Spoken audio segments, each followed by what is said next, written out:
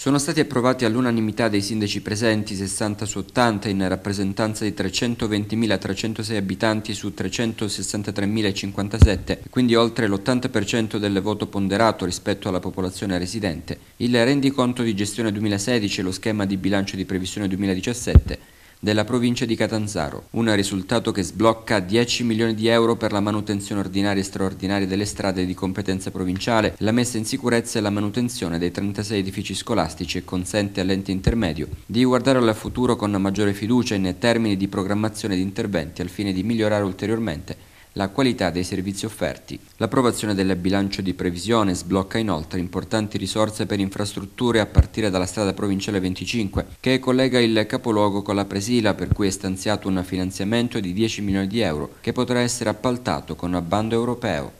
Stamattina apriamo il bilancio, apriamo il bilancio della provincia di Catanzaro per il 2017, l'Assemblea dei Sindaci è un organo istituzionale che deve dare il parere obbligatorio ma non vincolante e utilizziamo delle risorse che abbiamo recuperato a Roma ma che abbiamo recuperato anche con una buona gestione qui in provincia. Investiremo circa 10 milioni di euro sia sulle strade che sulle scuole e cercheremo di mandare anche un segnale, eh, anche della mia qualità eh, di Presidente dell'UPI regionale alla Regione per vedere in qualche modo realizzate le nostre richieste, quella delle, delle competenze eh, non fondamentali che sono, che sono um, strutture sportive, parchi, musei, biblioteche. Tutto questo è, in itinere in un tavolo che è l'Osservatorio regionale degli enti locali che dovrà diciamo, rivisionare l'impostazione data prima del referendum eh, del 4 dicembre e poi stiamo cercando di portare le risorse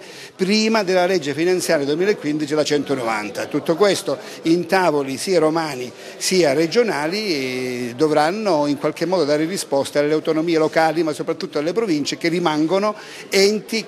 costituzionalmente riconosciuti.